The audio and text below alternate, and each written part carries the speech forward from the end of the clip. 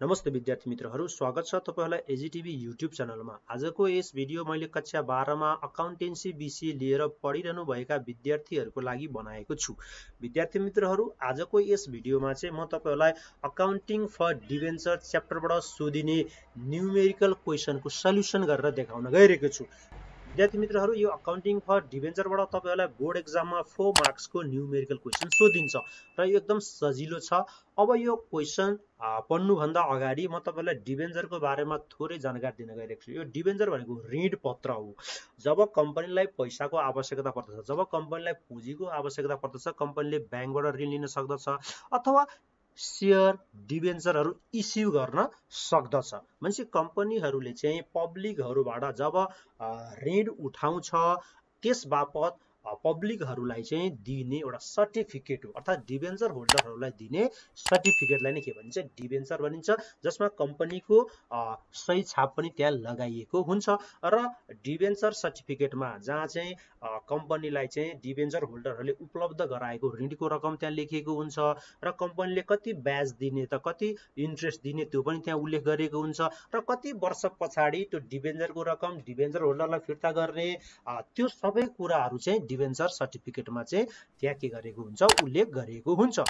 अब विद्यार्थी मित्रहरू कम्पनीले डिभेन्चर इस्यु गर्दाखेरि इन्स्टलमेन्ट बेसिसमा पनि इस्यु गर्न सक्दछ अथवा लमसम बेसिसमा पनि इस्यु गर्न सक्दछ। अब तपाईँहरूलाई एक्जाममा चाहिँ यो लमसम बेसिसमा डिभेन्चर इस्यु गर्दाखेरिको जर्नल इन्ट्री र लमसम बेसिसमा नै डिभेन्चरको रकम फिर्ता गर्दाफेरि रिडेम्सन गर्दाफेरिको जर्नल इन्ट्री बनाउन सोद्धछ अब यो क्वेसन चाहिँ मैले two thousand seventy three supplementary question number टुवेल्भबाट लिएको डिभेन्चरको क्वेसन हो। अब हेर्नु त क्वेसनमा के लेखेको छ म पढ्न गइरहेको छु है। A company limited issued 2000 10% debenture of rupees hundred is at a discount of five percent एउटा कम्पनीले चाहिँ दुई हजार डिभेन्चर टेन पर्सेन्ट भनेको यो ब्याज हो इन्ट्रेस्ट रेट हो जुन चाहिँ डिभेन्चर होल्डरलाई चाहिँ कम्पनीले प्रदान गर्ने यो ब्याज दर हो। दुई हजार डिभेन्चर चाहिँ कम्पनीले के गरेको छ? इस्यु गरेको छ र एउटा डिभेन्चरको रकम एउटा डिभेन्चरको मूल्य सय रुपियाँ राखेको छ कम्पनीले अब यो सय रुपियाँ पर्ने डिभेन्चरलाई चाहिँ कम्पनीले चाहिँ फाइभ पर्सेन्ट डिस्काउन्टमा इस्यु गरेको छ भनेपछि सयको फाइभ पर्सेन्ट पर्सेन्ट भनेको कति हो?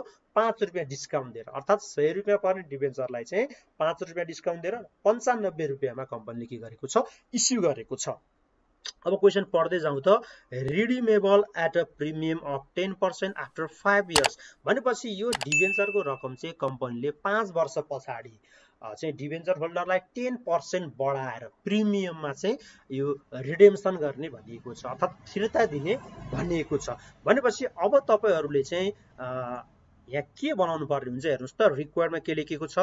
Journal entries for issuance and redemption of debenture भनेपछि डिभेन्चर इस्यु गर्दाखेरिको जर्नल इन्ट्री लमसममा डिभेन्चर इस्यु गर्दाखेरिको जर्नल इन्ट्री र लमसममै पेमेन्ट गर्दाखेरिको चाहिँ जर्नल इन्ट्री तपाईँले बनाउनु पर्ने हुन्छ।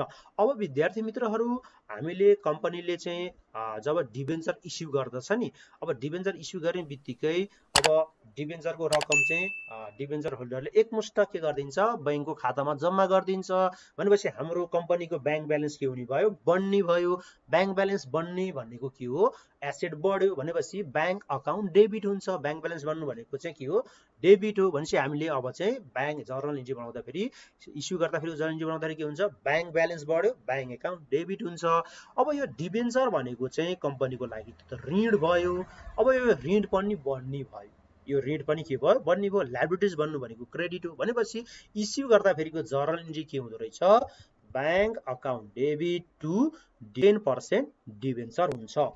Bank account debit to ten percent debentures अब विद्यार्थी मित्रहरू यदि कम्पनीले चाहिँ पारमा डिभेन्चर इस्यु गरेको भने त हामी ब्याङ्क एकाउन्ट डेबिट लेख्छौँ र क्रेडिटमा टु टेन पर्सेन्ट डिभेन्चर लेख्छौँ। अब यो क्वेसनमा कम्पनीले चाहिँ डिभेन्चर इस्यु गर्दाखेरि केमा इस्यु गरेको भनेको छ? डिस्काउन्टमा इस्यु गरेको छ भनेको सय रुपियाँ पर्नेलाई पाँच पर्सेन्ट डिस्काउन्ट दिएर पन्चानब्बेमा इस्यु गरेको छ भने चाहिँ कम्पनीलाई चाहिँ घाटा भयो। घाटालाई हामी कहाँ लेखिन्छ? डेबिटमा लेखिन्छ। लस बढ्यो लस बढ्नु भनेको त के भयो? डेबिट हो। भनेपछि हामी यहाँ डेबिटमा के लेख्छौँ? Discount on issue account discount on issue account debit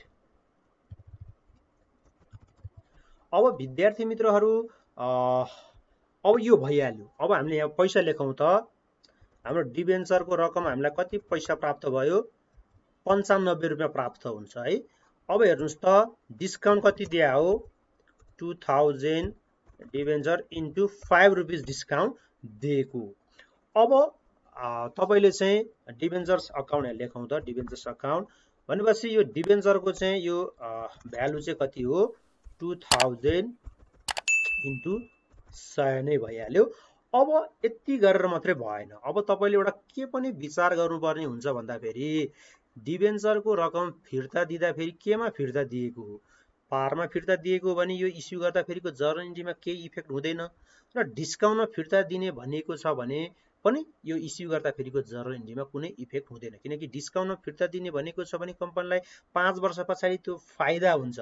अब यो भविष्यमा हुने फाइदा भविष्यमा हुने प्रोफिटलाई हामीले करेन्ट चाहिँ इयरमा चाहिँ त्यसको रेकर्ड गर्दैनौँ। तर प्रिमियममा फिर्ता दिने भनेको छ बढाएर दिने भनिएको छ भने हामीले त्यसलाई के गर्नुपर्ने हुन्छ? प्रिजेन्टमै रेकर्ड गर्नुपर्ने हुन्छ। अब पाँच वर्ष पछाडि टेन पर्सेन्ट प्रिमियममा फिर्ता दिने भनिएको छ भने त कम्पनीलाई त के हुन्छ? लस हुन्छ।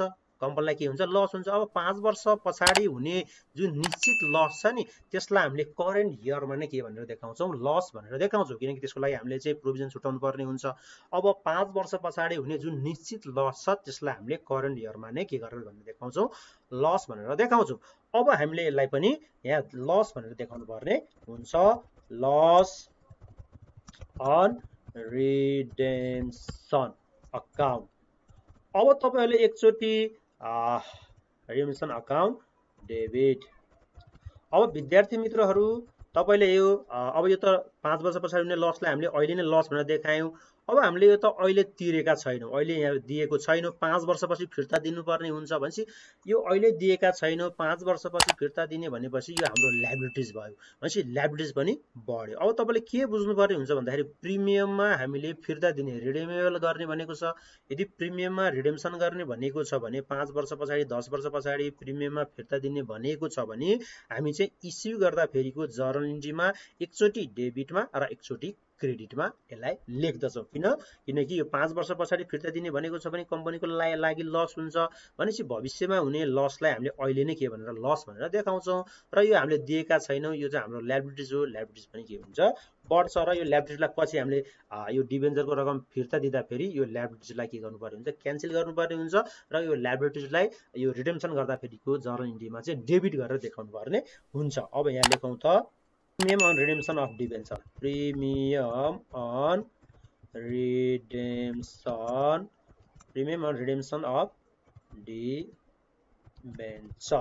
account. अब यहाँ अमाउन्ट कति लेख्ने हो हेर्नुहोस् त।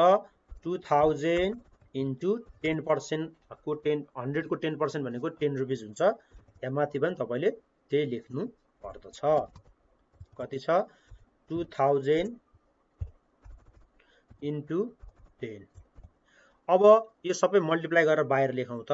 अब हेर्नुहोस् त यो ninety five into two thousand गऱ्यो भने कति हुन्छ? यहाँ लेख्नुहोस् बाहिर। यो one lakh one lakh ninety thousand अब यो पनि तपाईँले मल्टिप्लाई गर्नुहोस्। Two thousand into five ten thousand हुन्छ है। यो टेन थाउजन्ड हुन्छ। अब यो पनि मल्टिप्लाई गर्नुहोस्। अब यो कति हुन्छ? ट्वेन्टी थाउजन्ड हुन्छ। अब यो क्रेडिटपट्टि पनि तपाईँले चाहिँ मल्टिप्लाई गरेर लेख्नु होला। अब यो कति हुन्छ? हेर्नुहोस् त टु लाख हुन्छ। टु लाख अब यो पनि मल्टिप्लाई गर्नुहोस् कति हुन्छ? ट्वेन्टी थाउजन्ड भनेपछि तपाईँले यो डेबिटको जोड्नु भयो र यो क्रेडिटको जोड्नु भयो भने यो दुइटा इक्वेल हुनुपर्छ। हेर्नुहोस् त यहाँ one lakh ninety thousand plus ten thousand two lakh plus twenty thousand two lakh twenty thousand यहाँ पनि टु लाख ट्वेन्टी थाउजन्ड छ। अब विद्यार्थीहरू यहाँ नेरेसन लेखौँ त। Being issued 2000 10 percent debentures 10 percent debentures at 5 percent discount and redeemable at 10 percent premium भनेर यसरी न्यारेसन तपाईँले लेख्नु होला अब यति गरिसकेपछि विद्यार्थी मित्रहरू अब हामी यो रिडेम्सनको जर्नल इन्ट्री बनाउँदछौँ। अब हामी यहाँ के गर्छौँ? रिडेम्सनको जर्नल इन्ट्री बनाउँदछौँ। अब रिडेम्सनको जर्नल इन्ट्री बनाउँदाखेरि तपाईँले ठ्याक्कै यो जर्नल इन्ट्रीलाई रिभर्स गरिदिनु हेर्नुहोस् त। अघि हामीले bank account debit to ten percent debenture लेखेका थियौँ। अब हामीले के गर्छौँ? यो डिभेन्चर्स रिडेम्सन गर्दाखेरि चाहिँ यो डिभेन्चरलाई डेबिटमा लेख्छौँ र ब्याङ्कलाई कहाँ लेख्छौँ? क्रेडिटमा लेख्दछौँ। Ten percent debenture debentures account यो डेबिट यो रकम चाहिँ अहिले लेख्छु म टु टु ब्याङ्क अकाउन्ट अब विद्यार्थी मित्रहरू यो गरिसकेपछि अब हेर्नुहोस् त अघि हामीले प्रिमियम अन रिडेम्सन अफ डिभेन्चरलाई क्रेडिट गरेका थियौँ। अब यो त दायित्व थियो। पाँच वर्ष अगाडि अब पाँच वर्ष पछाडि हामीले फिर्ता दिँदाखेरि यो दायित्व त घट्ने भयो। अब घट घटाउनको लागि अब यसलाई हामीले क्यान्सल गर्नुपर्ने हुन्छ। अब यसलाई हामीले के गर्नुपर्ने हुन्छ? क्यान्सल गर्नुपर्ने हुन्छ। क्यान्सल गर्नुको लागि हामी कहाँ लेख्छौँ? यसलाई डेबिटमा लेख्छौँ। Premium on redemption account of debenture भनेर लेख्दा नि हुन्छ। Account DR. अब अमाउन्ट चाहिँ तपाईँले के लेख्नु पऱ्यो टु थाउजन्ड इन्टु टेन। कति हुन्छ? अब यहाँ डिभेन्चर्स चाहिँ कति नै थियो?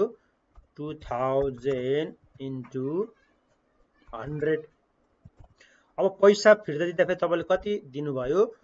Two thousand into one hundred ten दिनुभयो। है अब यसलाई मल्टिप्लाई गरेर राखौँ। कति हुन्छ? यो मल्टिप्लाई गर्दाखेरि टु लाख भयो। अब यो पनि तपाईँले मल्टिप्लाई गरेर राख्नु होला। कति? ट्वेन्टी थाउजन्ड अब यता पनि क्रेडिटतर्फ पनि तपाईँले मल्टिप्लाई गरेर राख्नु कति हुन्छ?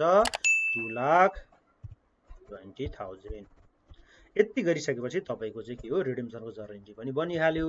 अब विद्यार्थी मित्रहरू यति गरिसकेपछि अब यहाँ न्यारेसन लेख्नु होला। Being payment made to debenture holders अब यति गरिसकेपछि तपाईँको फोर मार्क्स आउने भयो। अब यहाँ तपाईँले चाहिँ यो जुन मैले यो रिडेम्सनमा एउटै मात्रै जर्नल इन्ट्री बनाएको छु तपाईँले यसलाई दुईवटा जर्नल इन्ट्री मार्फत देखाउन पनि सक्नुहुन्छ। एकचोटि ड्यु इन्ट्री बनाएर जस्तै ten percent debenture account debit to debenture holder account र यो प्रिमियम अन रिडेम्सन अकाउन्ट डेबिटलाई चाहिँ डेबिटमा लेख्नु होला र त्यसपछि अब अर्को पेमेन्ट गर्दाखेरि चाहिँ debenture holder account debit to bank account भनेर तपाईँले दुईवटा जर्नल इन्ट्री बनाएर देखाउन पनि सक्नुहुन्छ। विद्यार्थी मित्रहरू आजको भिडियो तपाईँलाई कस्तो लाग्यो? लाइक कमेन्ट र सेयर गर्न नबिर्सिनु होला हस्त धन्यवाद।